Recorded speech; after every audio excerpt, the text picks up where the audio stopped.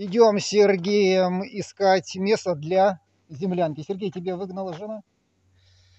Э, Нет, Э, я развиваю в горячем ключе школу выживания для подростков, поэтому нам нужна секретная база, место. Наше место будет находиться недалеко от церкви, но так, чтобы было бы минимум квадроциклов, мотоциклов. Дима, как ты думаешь, вот э, в этом склоне вырыть землянку 2 на 3 метра, как быстро мы сможем?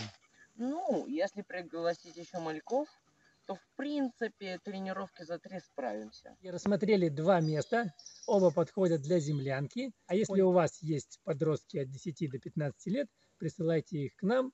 Будем делать из них настоящих землекопателей, строить секретную базу.